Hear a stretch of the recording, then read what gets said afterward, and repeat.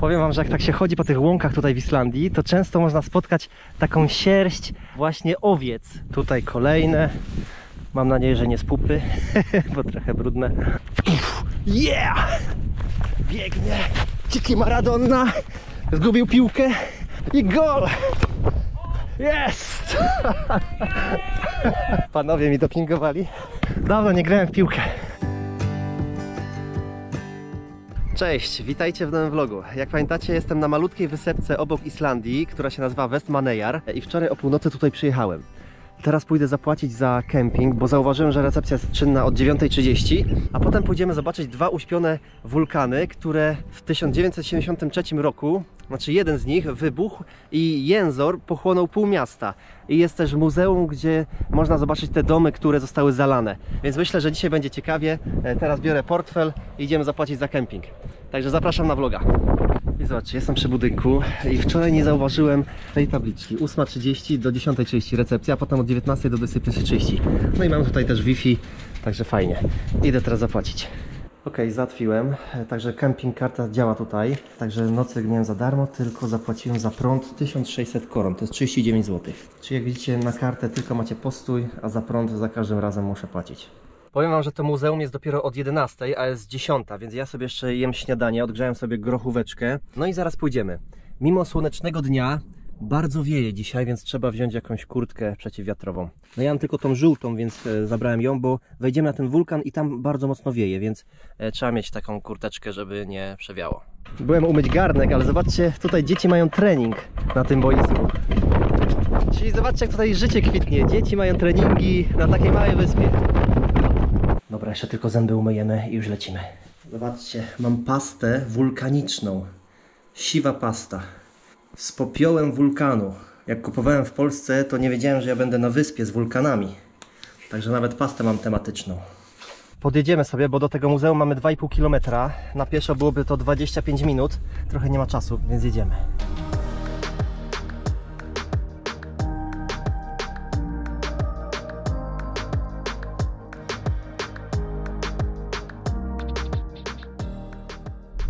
Zobaczcie, jak tutaj ludzie mieszkają w takich domkach specyficznych. W większości są białe, ale ładnie tu mają. Podoba mi się. Całe takie osiedle. Trochę wygląda jak takie amerykańskie.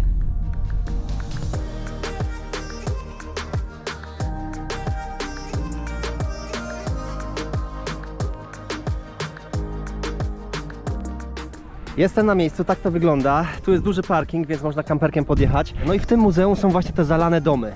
Oni to zadaszyli, żeby dla turystów y, była atrakcja. I z tego co czytałem, to właśnie ten wybuch w 1973 i tutaj zalał, ktoś tak pisał, połowę miasta, ale nie wiem jaka jest prawda. Także tam wejdziemy, podobno 45 minut drogi i można wejść na ten wulkan, na tamten również. I są piękne widoki właśnie na całe miasto. Także dzisiaj tam pójdziemy, ale pisali, żeby najpierw zobaczyć muzeum, bo wtedy będziemy wiedzieli o co chodzi. Jestem pod budynkiem, ale powiem Wam, że tutaj jest właśnie odkopany taki dom, który został zalany. No i ta cała lawa, która tutaj e, jest, czyli ten jęzor wulkanu, on już obrósł trawą, dlatego nie widać, że to jest e, lawa. Ale tutaj odkopali kawałek jednego z domów, no i tak to wygląda. To była masa lawy, która tutaj się wylała na to miasto. I zobaczcie, ta zastygnięta mawa to są takie okruszki. Także jak widzicie, jak ktoś tutaj mieszkał, no to stracił cały dobytek swojego życia. No a tutaj już mamy trawę, a tak naprawdę to była ta lawa, która popłynęła na miasto. Ładnie, aż przeraża, że taka jest siła natury. Teraz sobie wyobraźcie, że wasz dom tak wygląda. Nawet krokwie zostały, nie spłynęły. Nieźle.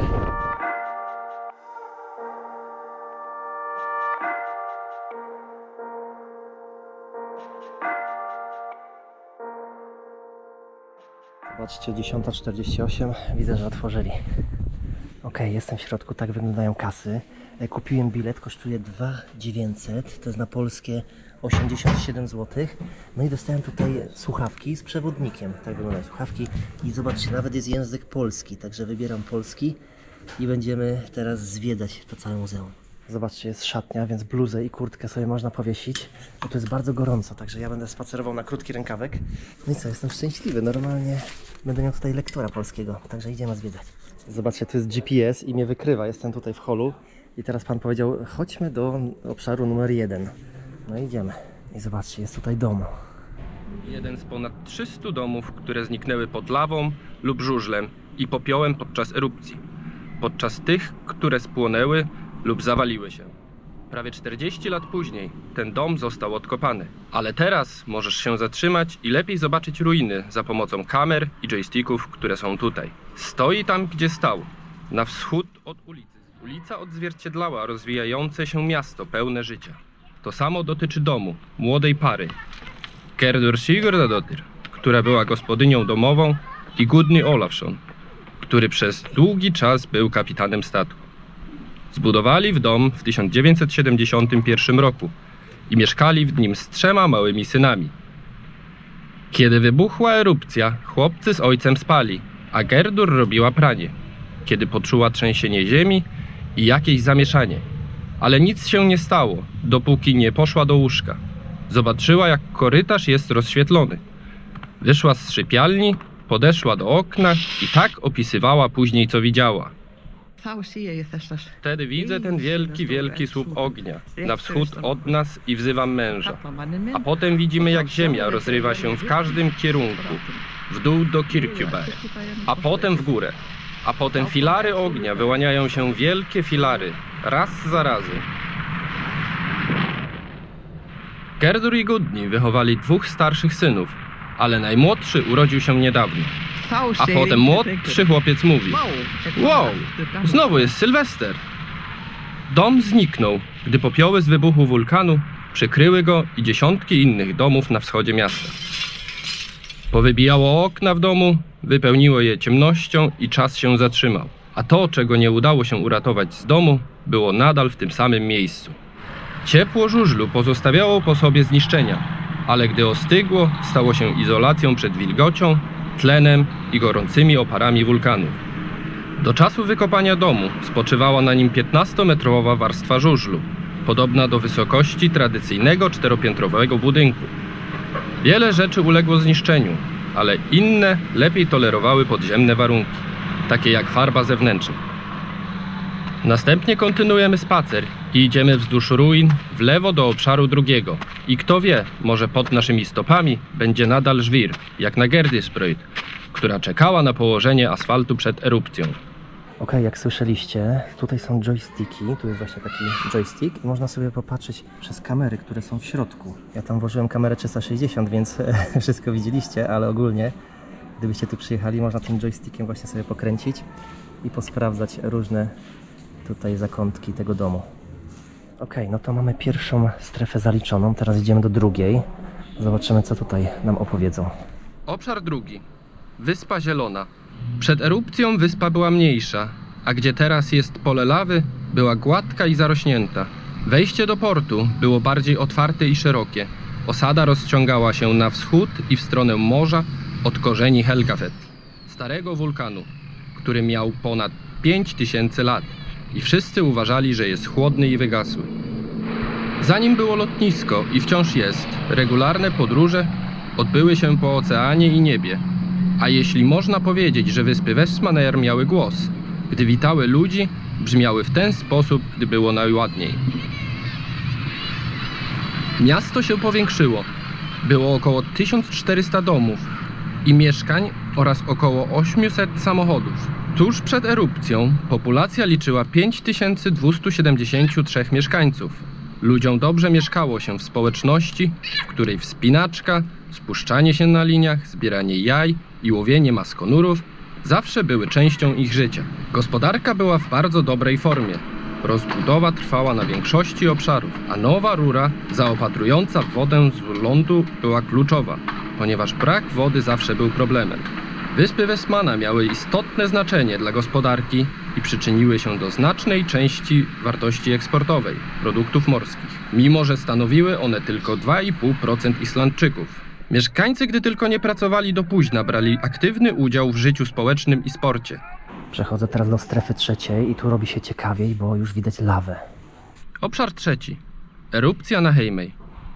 Poprzez obracanie wskazówki możesz zarządzać akcją, erupcją i wypływem lawy. Prawie tak samo jak siły natury z wnętrza Ziemi miały to zrobić od nocy 23 stycznia 1973 roku. Nastał spokój po sztormie ubiegłego dnia, co sprawiło, iż wszystkie statki rybackie były w porcie. Na zachodniej części wyspy zabudowanie było rzadsze niż w mieście. Tam słychać było fale przy brzegu poniżej domów w Kirkjubær. Były to pojedyncze domy, najbliżej pęknięcia podczas erupcji, w odległości do 200 metrów i były to pierwsze domy w zabudowie, które poległy pod ogniem i lawą. Tu widzisz, jak były one blisko pęknięcia i jak dużo gorzej mogło się to wszystko skończyć. Około godziny drugiej małżeństwo w jednym z tych budynków poczuło trzęsienie. Było to jakby ciężki sprzęt przejechał ulicą. Odgłosy można by porównać z odrzutowcem. Odgłosy te były coraz głośniejsze i wtedy zauważyli oni pierwsze iskry u stóp góry Helgafell, tak jakby ktoś ją podpalił. Niedaleko domów dwóch mężczyzn wybrało się na wieczorny spacer i ich celem była latarnia Urdavity, która miała być pierwszą konstrukcją, która została zniszczona. Trochę opóźnili swój spacer, gdyż zagadali się z trzecim mężczyzną, co było wielkim szczęściem, tak jak jeden z nich, Olafur Grans, stolarz opisywał. Jak tam byliśmy obok Kirkjubær, w drodze na zachód, do latarni, to tak jakby nagle ktoś machnął ręką i ziemia rozstąpiła się przed nami. I z ziemi zaczęły wydostawać się strumienie ognia. Erupcja nabrała tempa. W kilka minut, w 1700-metrowym pęknięciu, strumienie lawy tryskały na wysokość 150 metrów, a niektóre wytryski były wyższe. Strumienie były tak gęste, że stworzyły one ścianę ognia. Niebo zrobiło się czerwone i na początku niektórzy będący dalej myśleli, że Kirkjubær płonie. Aktywność wulkaniczna miała się jeszcze zmienić. Wieczorem pęknięcie zmniejszyło się o połowę i miało zmniejszyć się jeszcze więcej. W dniu drugim dwa punkty pęknięcia były najbardziej aktywne. Jeden punkt wyrzucał ogromną ilość pyłu i gruzu, kamieni, lawy i wytrysków lawy, które miały spaść na miasto, zawalić wiele domów i inne podpalić. Drugi punkt to krater Eldfell. Był aktywny podczas całego trwania wybuchu. Wytryskiwał lawę bez przerwy, a wytryski sięgały 100-200 metrów wysokości. Lawa na początku spływała do oceanu i miała ona powiększyć wyspę o około 20%. Jednak w pierwszych dniach zalała również pierwsze domy. Chwilę później zaczęła ona zalewać i zawężać wejście. I dzień później uważano, iż najbezpieczniej będzie, gdy łodzie i statki wypłyną z portu, ponieważ wielu uważało, że dni istnienia portu zostały już policzone. Ten dzień został później nazwany Czarnym Poniedziałkiem, dlatego że wyglądało to wszystko bardzo źle. Lawa miała zalać jeszcze dużą część miasta. Była ona gęsta, jednak jej prędkość była zadziwiająco szybka. Brała ona ze sobą wszystko, co było po drodze: sklepy, budynki mieszkalne, basen, jedną firmę rybną i elektrownię, która była aktywna do samego końca, aż kawałki lawy nie zaczęły wpadać do budynku. Potem było już ciemno. Po tym jak elektrownia znikła, miasto miało problem z dostawą prądu i jedynie najpotrzebniejsze oświetlenie zostało dozwolone.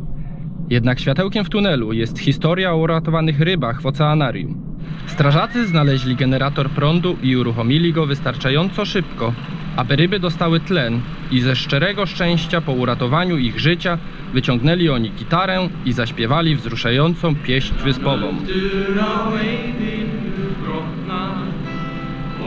Jednak lawa nie płynęła bez oporów. Więcej o tym za chwilę. Najpierw przejdźmy na obszar czwarty, aby pooglądać miasto i wybuch z różnych perspektyw i posłuchajmy o ucieczce z Heimei. No jak widzicie, bardzo ciekawa historia. Teraz wchodzę do strefy czwartej. Posłuchajmy, co tutaj powiedzą. Większość osób przebywała w porcie, około 5000 osób. Osoby starsze, chore lub osłabione miały wylecieć z wyspy samolotem. Ludzie wzięli ze sobą tylko najpotrzebniejsze rzeczy. Ktoś wziął ze sobą kota, ktoś inny odtwarzacz kaset magnetofonowych. Tam była papuga w klatce i dziecko w piżamach. Jeszcze ktoś inny zawrócił się do domu po paczkę papierosa, ale zapomniał portfela, który leżał obok. Nastolatek, który miał mieć sprawdzian następnego dnia, uważał za konieczne zabranie ze sobą podręczników. Pierwszy statek wypłynął szybko z portu. Później popłynęły następne, jeden za drugim, wypełnione po brzegi. Ludzie byli w każdym kącie, od 50 do 400 osób. Jednak wiele osób dostało choroby morskiej. W przeprawie przez ocean, ponieważ ocean nadal był wzburzony po sztormie, który miał miejsce dzień wcześniej. Wiele osób nigdy nie zobaczy ponownie swoich domów. Útvar Reykjavík, útvar Reykjavík. Radio krajowe nadawało wiadomość o katastrofie w nocy. Linie telefoniczne były oblężone. Samoloty stworzyły stałe połączenie pomiędzy wyspą a lądem. Świat nagle oprzytomniał, a Heimei przez chwilę było jego środkiem. Reports are coming in of a volcanic eruption on the Westman Islands, just south of Iceland. The eruption began just before 2 a.m. Po wszystkim wiele osób uważały, że ktoś trzyma mieszkańców wyspy w swojej opiece tej nocy. Wybuch nie rozpoczął się blisko domów, nie zamknął lotniska ani portu i pogoda była dobra po sztormie, który zmusił wszystkie statki do wypłynięcia do portu. Dzięki temu były one gotowe w bardzo krótkim czasie. Wstrząsające było to, kiedy krowy znajdujące się na zachodzie wyspy zostały przegonione do miasta w nocy, do fabryki w Rybnej w mieście. Opisywano było, iż odgłosy dochodzące od nich nie były normalne.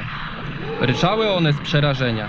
W ostateczności zostało zdecydowane, iż najlepiej będzie je uśpić, niż zostawić możliwie na długi okres bez paszy i jedzenia.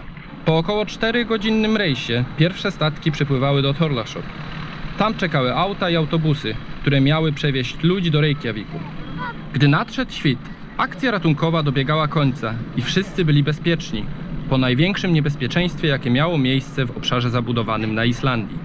Pozostało opuszczone miasto, które zmieniło się w miasto duchów.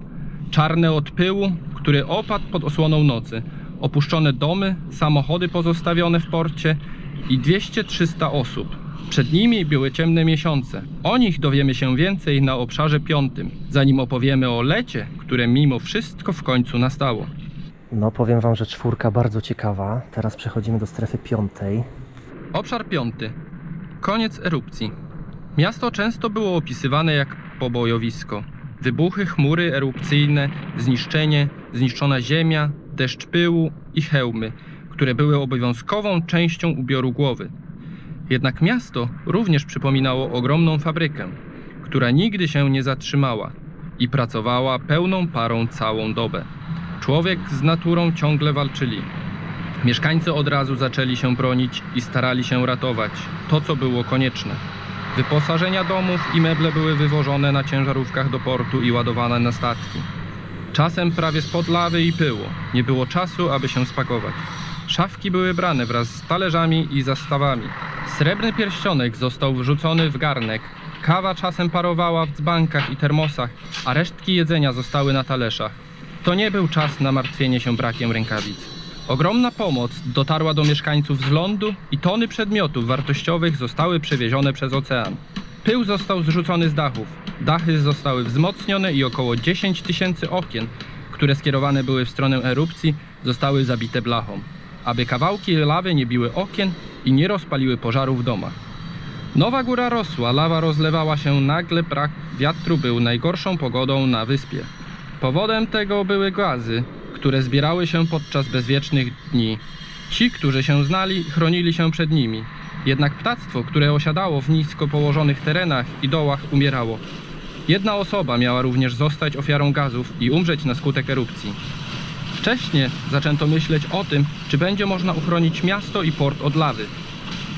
Dzięki ustawieniu zapór w zachodniej części wyspy i pompowaniu wody z oceanu na lawę. Podczas erupcji na Surcej były robione próby chłodzenia lawy. Tygodniami starano się zmienić tor lawy na Heimei wodą z oceanu.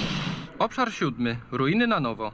Nadal jesteśmy na Gerdisbrod 10, przy domu, który zniknął z powierzchni Ziemi i światło słoneczne nie dochodziło do niego przez około 40 lat.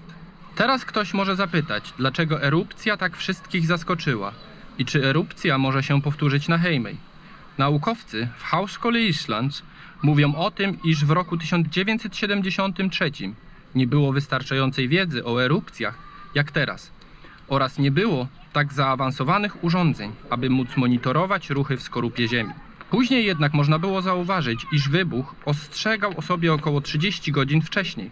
Urządzenia, z których korzystano, nie wystarczyły, aby dokładnie zlokalizować miejsce, w którym wulkan dawał oznaki aktywności.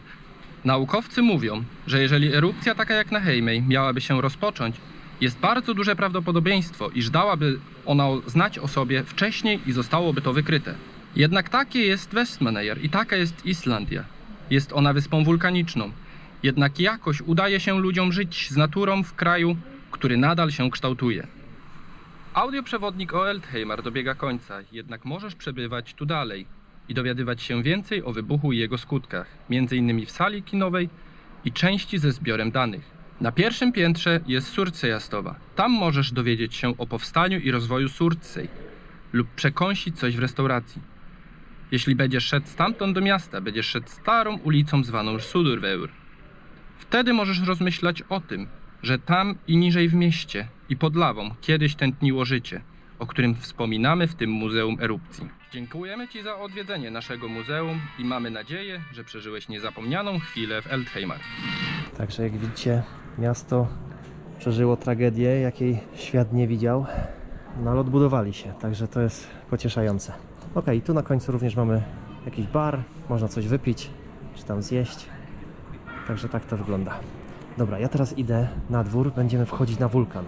Ok, przewodnika odwieszamy tutaj. Dobra, i biorę ubranie. No i zobaczcie, z pięknego, słonecznego dnia zrobiła się pochmurna pogoda. I tylko godzinka czasu minęła. Ale nic, tutaj jest szlak, idziemy na górę. Mamy żółty pachołek, także będę się kierował tą ścieżką. Tutaj drugi, więc zgubić się nie można.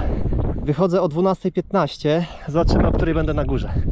No i tą ścieżką doszedłem do takiego dużego parkingu, także tutaj możecie podjechać samochodem i stąd już jest właśnie taka szeroka ścieżka na wulkan. No i tu jest mapka, jesteśmy w tym miejscu, no i ten szlak prowadzi aż na wulkan Eldfell. Idziemy. I zobaczcie, mijam te wszystkie skały, które wylatywały w powietrze. To wszystko latało w powietrzu, jak wulkan pryskał.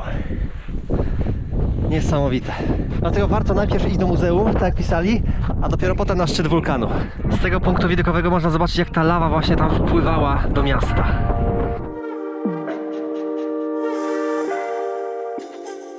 Idę dalej, mijam takie dwa kopce z kamieni. Ludzie je chyba układają na pamiątkę. No i tak wygląda szlak.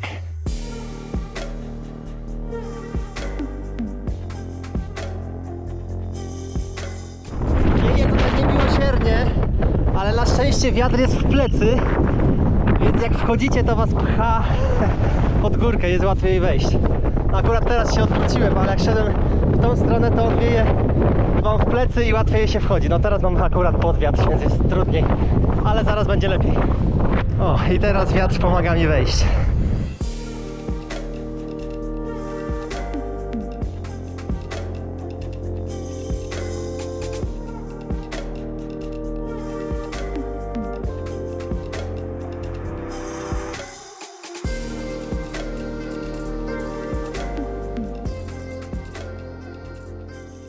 Ale widoki niesamowite.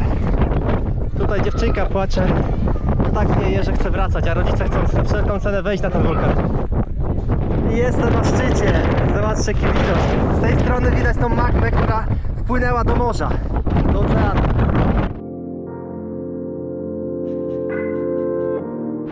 Okej, to jest najwyższy punkt tego miejsca, tej skały. Więc wchodzę i oglądamy.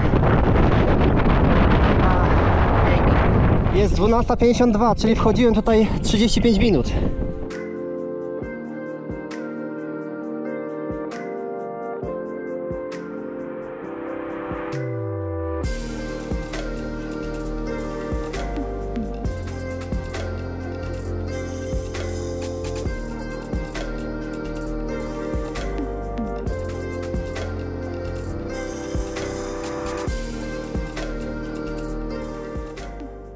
Zobaczcie, na wulkanie są czujniki.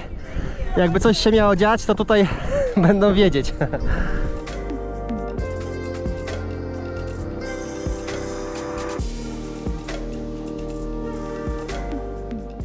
Ja teraz schodzę i wejdę sobie jeszcze na tego drugiego. A na ten drugi wulkan ścieżka jest tutaj zaraz przy tym parkingu. Widać ją stąd i tam będę musiał iść. Jestem u podnóża, mamy 13.22. Zobaczymy ile mi to zajmie. No i muszę stwierdzić, że na ten wulkan szlak jest trudniejszy, bardziej pochyły, droga taka śliska, ciągle cały czas się ślizgam, bo jest taki piasek ale jest zdecydowanie piękniej. No i mamy po lewej stronie widok na ten pierwszy wulkan. Coś pięknego.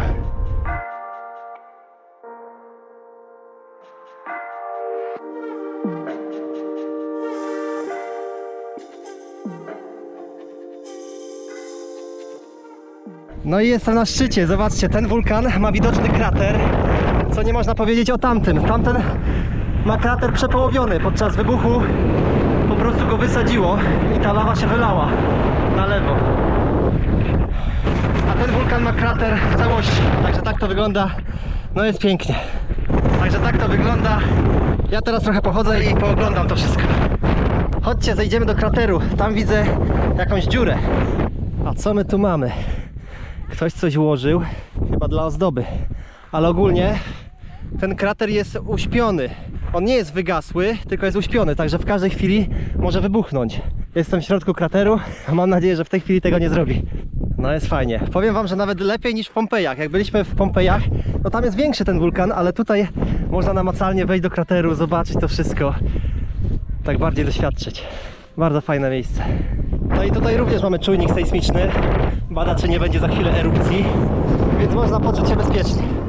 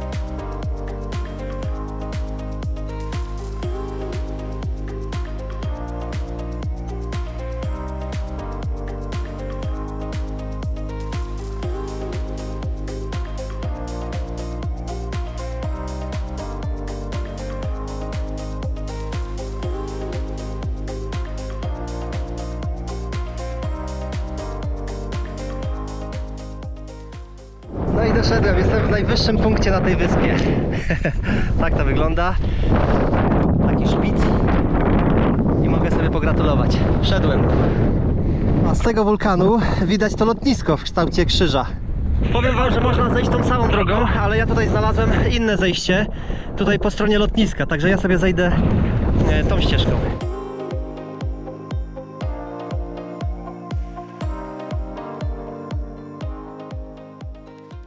Tutaj nie ma wiatru. Jest ładny widok na te zielone łąki. Powiem Wam, że jak tak się chodzi po tych łąkach tutaj w Islandii, to często można spotkać taką sierść właśnie owiec. I tego jest tutaj bardzo dużo. Często właśnie się spotykam z takimi pozostałościami, takie kołtuny. Tu jest jeden, tu jest drugi. No i to właśnie zostawiają owieczki. No a z tego robimy ubrania. To jest wełna. Zobaczcie, tutaj, tutaj, tutaj, tutaj kolejne. Mam nadzieję, że nie z pupy, bo trochę brudne. Dobra, idziemy. Bo właśnie, dmuchawce na Islandii już gotowe. Możemy sobie dmuchnąć.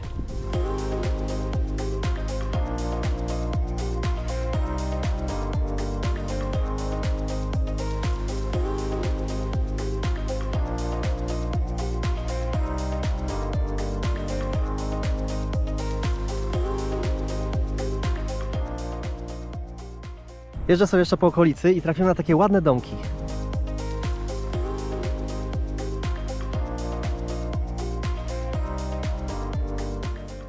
Słuchajcie, wejście jest za darmo, także można wejść do środka i pozwiedzać. Tutaj jakiś lekarz mieszkał, czy ktoś. Fajny kominek. Zobaczcie, tu są jego lekarstwa. W 1850. Także dom bardzo stary. A tu są jego przyrządy do leczenia ludzi. A tutaj nawet kuchnia. W takich naczyniach gotował. Tu miał czajnik. No, fajnie. I zobaczcie na ten grzejnik, jaki starodawny. No, bardzo ładnie. Warto wejść. Także zostawię Wam link w opisie. Jest tu jeszcze jeden taki starodawny budynek, ale zachwycają mnie te mury. zrobione z kamieni i po środku jest trawnik. Bardzo ładnie to wygląda. Czegoś takiego jeszcze nie widziałem. To będzie chyba jakiś kościół, bo tutaj jest dzwon pod tą klapą. Także mijamy mury i wchodzimy. Starodawny kościół.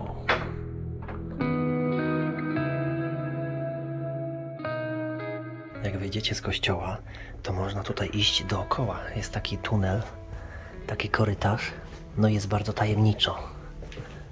Także taka podwójna ściana. Może zrobili tak, żeby było cieplej w kościele. Dlatego jest taki korytarz tutaj zrobiony. Ale ogólnie podoba mi się. Tylko kościół taki dziwny, bo na środku stoi telewizor zamiast ołtarza.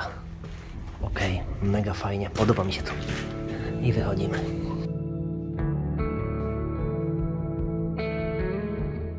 Można przyjść tutaj do zatoki i popatrzeć na te skały, jak również tą lawę, która wpłynęła do wody. Ale ogólnie fajnie to wygląda, jak jakieś fiordy w Norwegii. I zobaczcie, to jest ta lawa, która się wlała tutaj do zatoki i ludzie się bali, że zamknie im drogę do portu, e, ale na szczęście zatrzymała się w połowie tej tutaj odległości i statki mogą przepływać.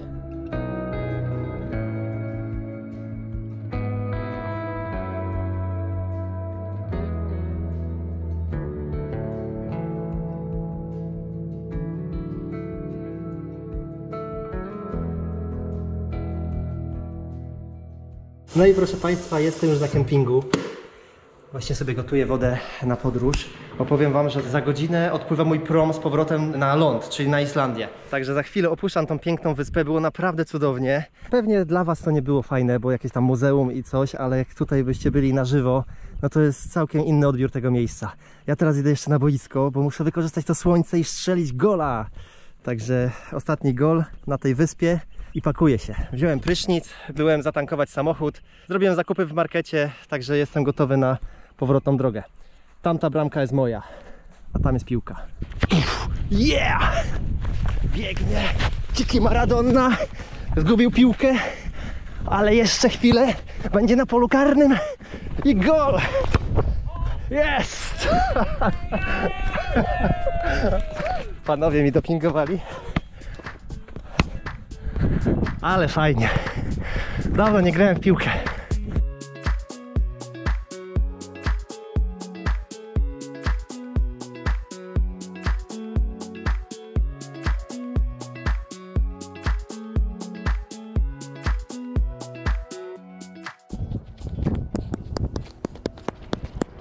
No to było śmieszne.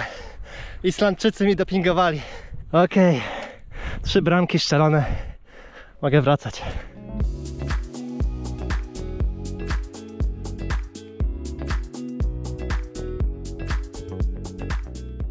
Jak widzicie spakowałem się, także wyjeżdżam z kempingu i jadę na prom. Mam być 30 minut przed odpływem, czyli o 21.30, a jest 21.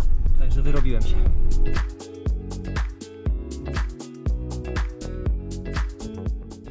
Bardzo łatwo trafić, bo na skrzyżowaniu z, z światłami po prostu trzeba kierować się na znak na prom, ten żółty. No i jestem. Jestem na pasach startowych, nie wiem czy dobrze stanąłem, ale objechałem to dookoła ten cały budynek i tak jakby tutaj. I potem będzie trzeba wjechać tak, na statek. Ale powiem Wam, że historia jest taka, że ja nie wiedziałem ile tutaj będę dni. No i pani powiedziała, że muszę wybrać datę powrotu, bo na wyspie nie może być za dużo samochodów. Jest jakiś limit czy coś takiego, więc nie mogłem sobie tak tutaj przyjechać i być ile chcę dni tylko już od razu musiałem zdeklarować po prostu powrót. No i mówię, dobra, przecież nie będę chyba muzeum zwiedzał dwa dni, więc wziąłem na drugi dzień o 22. Także jestem teraz właśnie tutaj. Tak to bym jeszcze może jeden dzień został, ale po prostu mam ten bilet umówiony na dzisiaj. Ale z drugiej strony, co tu robić? Wszystko zobaczyłem, co miałem zobaczyć, więc wracamy na Islandię. Przyjechałem pierwszy i wjeżdżam ostatni. Wszyscy już wjechali, a ja czekam na zaskanowanie biletów.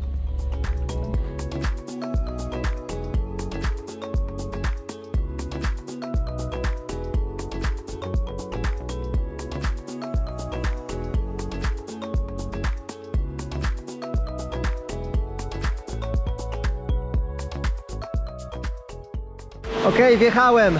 Powiem wam, że tutaj dziób jest otwarty, można sobie popatrzeć. Ale fajnie.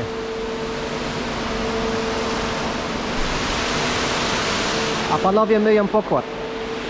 Ale śmierdzi rybami, nie wiem czemu, ale śmierdzi śledziem.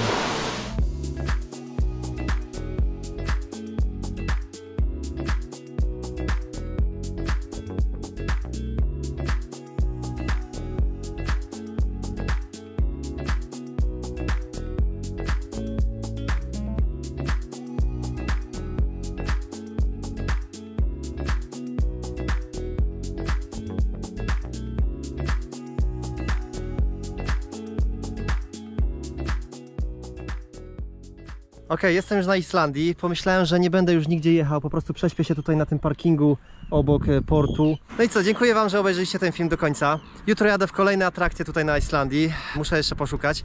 A z Wami się pożegnam. Trzymajcie się do następnego filmu. Cześć.